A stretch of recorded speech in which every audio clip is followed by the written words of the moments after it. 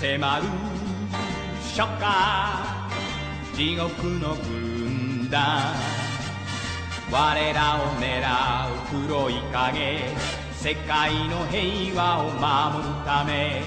Go, go, let's go!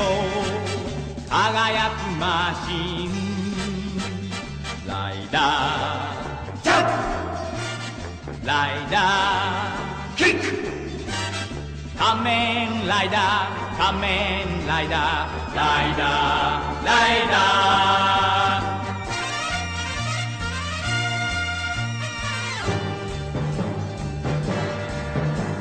ー迫る初夏悪魔の軍団我が友狙う黒い影世界の平和を守るため Go, go, let's go.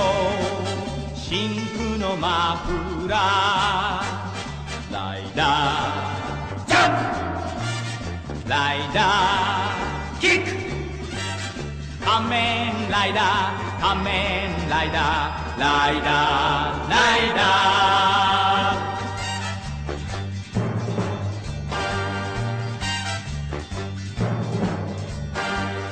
迫る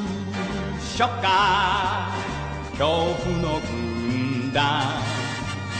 我が町狙う黒い影。世界の平和を守るため。Go,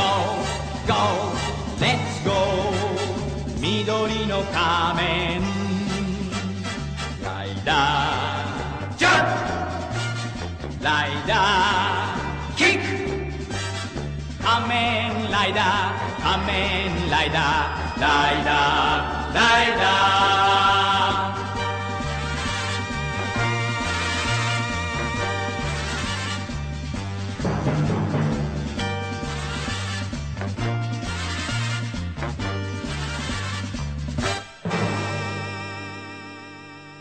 ในวันนี้เราจะพาท่านผู้ชมไปพบกับบุคคลผู้ประสบความสำเร็จในการประกอบธุรกิจ แม้จะเป็นธุรกิจที่ไม่ค่อยมีใครจับตามอง แต่นี่เป็นธุรกิจที่สามารถทำกำไรให้กับครอบครัวของเขาคนนี้ได้อย่างมากมายนัก เราจะพาท่านไปพบกับคุณน้าเฉลิม อายุ 51 ปี ผู้เป็นเจ้าของกิจการร้านขายข้าวโพดแห่งนี้ครับ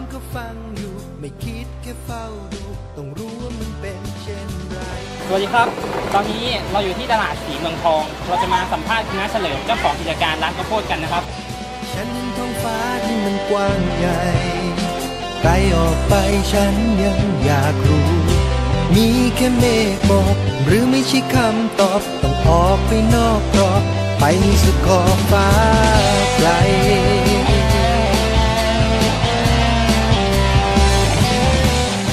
น้าเฉลิมครับกิจการร้านข้าวโพดเนี้ครับมีความเป็นมาประวัติความเป็นมายังไงบ้างครับ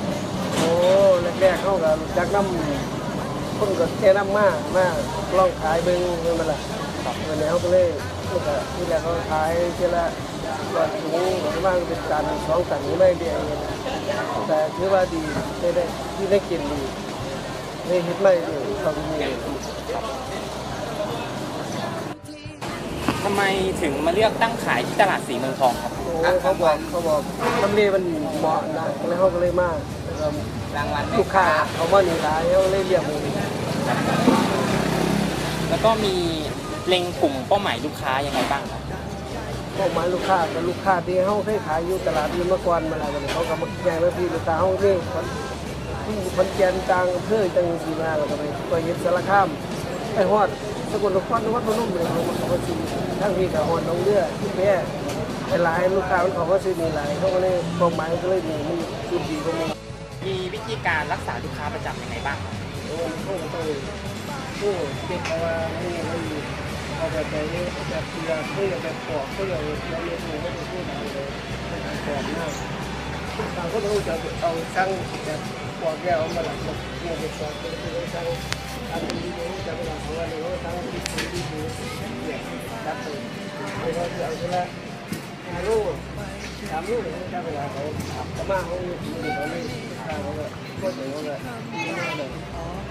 แล้วมีหลักเกณฑ์การตั้งการตั้งราคายังไงครับตั้งราคาบอกว่าพูดมาทั้งสี่มากในราคาแปดบาทก็ขายสิบบาทรู้หนึ่งตัวหนึ่งครับตัวหนึ่งตัวหนึ่งราคาแต่ละมือมีคนชื่อแบบราคาอะไรคือเรามีห้รับมากเลยแปดบาทก็ขายสิบเราเราไม่ได้ต่อบาทก็ขายสิบบาทคือเดียบกันนิดหน่อยถ้าเราพูดมีคงทำตอบอาจฟังดูเข้าที แต่ที่เป็นความลับของคำตอบ มันคือคำถามต่อไปต่อไปต่อไปต่อไป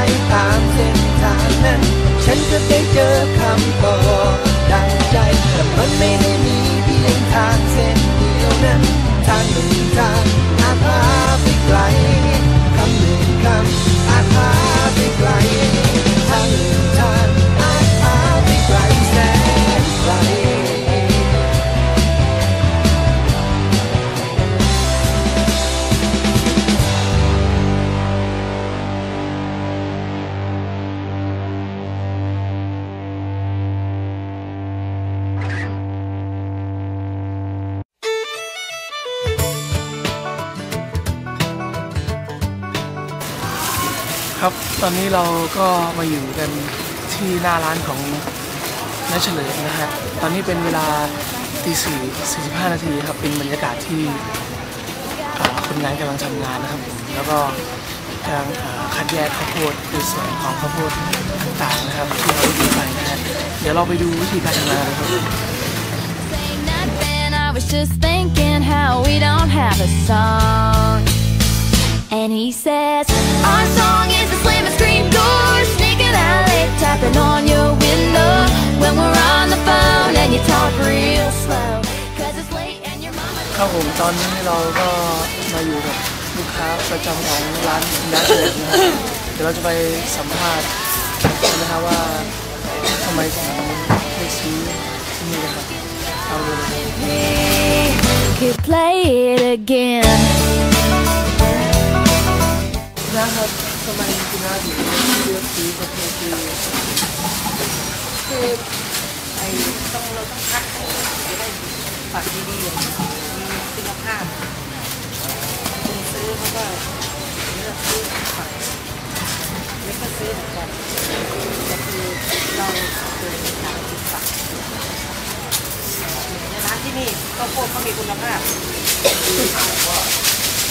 ผมแล้ว ความบ่อยของการไปซื้อ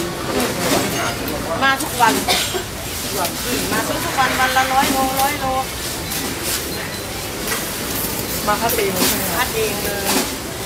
คือมัดเราสวยมั่นใจมากเลยแล้วก็ก็เป็นข้าวพันไว้เป็นเล็กมันเป็นเอาแค่แรกเป็นแค่เอากินโลกแล้วก็เม็ดเลยก็คนที่ซื้อเขาบอกว่าขายเรามีของดี ข้าวโพดดูใหม่มันมีวิตามินซีเยอะแต่เม็ดข้าวสูงเยอะเนี่ยเอามาเลยเนาะกินกันเยอะนะกินดีไม่เกี่ยวหรอกเดี๋ยวน้าซื้อไปเอาไปต้มขายต้มขายจ้าต้มใส่ถุงขายถุงละยี่สิบบาทเลยจ้า real slow. Cause it's late and his mama don't know. Our song is the way he left. The first date, man, I didn't kiss him and I should have.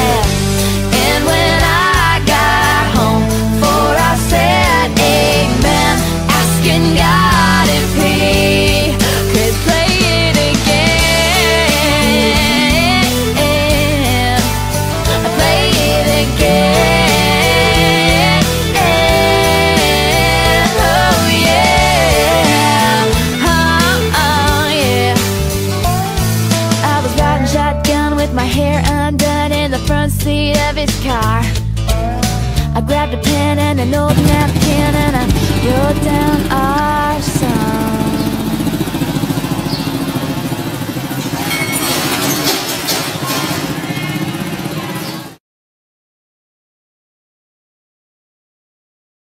ค่ะสำหรับการวิเคราะห์สวอตของกิจการร้านข้าวโพดลุงเฉลิมนะคะ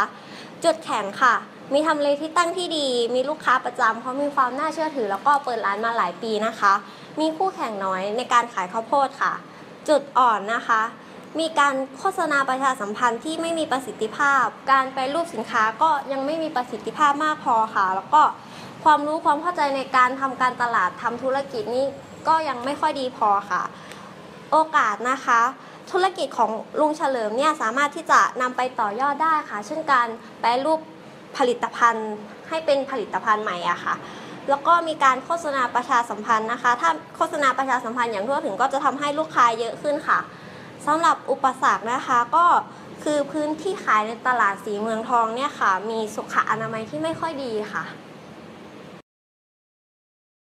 ทิศทางและวัตถุประสงค์ กิจการร้านข้าวโพด มีการเจริญเติบโตที่ก้าวหน้า กว่าตอนเริ่มต้นกิจการ เนื่องจากว่ามีทำเลที่ตั้ง อยู่อยู่ในตัวเมือง และมีการบริการที่ดี จึงทำให้มีการบอกต่อของลูกค้าให้มาอุดหนุนกิจการมากขึ้น สินค้าและแบรนด์ สินค้าที่นำเข้าจะมีคุณภาพตรงตามมาตรฐาน และลูกค้าพึงพอใจทำให้เป็นที่นิยมของลูกค้าที่เป็นกลุ่มเฉพาะ ช่องทางจัดจำหน่าย กิจการร้านข้าวโพดมีการจำหน่ายสินค้าแบบปลีกและส่ง โดยการรับออเดอร์จากลูกค้า และสินค้ามีการจำหน่ายเฉพาะที่ร้านนี้เท่านั้น การกำหนดราคา กิจการร้านข้าวโพดมีการตั้งราคาที่สูงกว่าต้นทุนเล็กน้อย ไม่เน้นกำไรมาก เน้นความพึงพอใจของลูกค้าในราคาสินค้า และมีบริการสั่งของล่วงหน้า ซึ่งทำให้ลูกค้าสามารถรับสินค้าได้โดยไม่ต้องรอ ครับ สำหรับการโฆษณาของกิจการขายข้าวโพด ร้านของน้าเฉลิมนะฮะจะไม่มีการโฆษณามากนะครับผม โดยจะอาศัยการพูดแบบปากต่อปากนะครับ จึงทำให้สามารถเจาะตลาดได้เฉพาะกลุ่มของคนที่ซื้อขายข้าวโพดกัน ครับสำหรับการควบคุมของน้าเฉลิมนะฮะน้าเฉลิมมีวิธีการควบคุมงบประมาณนะฮะโดยการาสั่งผลผลิตแต่ละครั้งเนี่ย จะนึกถึงช่วงฤดูกาลแล้วก็จะดูว่าฤดูกาลนี้เนี่ยผลผลิตจะได้มากน้อยขนาดไหน ใช้เวลาในในการปลูกกี่วันต่อการตัดหนึ่งครั้งนะฮะเนื่องจากว่ามีความรู้เรื่องการเก็บเกี่ยวผลผลิตครับ จึงทำให้โอกาสขาดทุนมีน้อยมาก หรือแทบจะไม่มีเลย ซึ่งเป็นหนทางประสบความสำเร็จของนาเฉลิมโดยแท้จริงครับ Yeah, yeah. Don Omar, J Doe,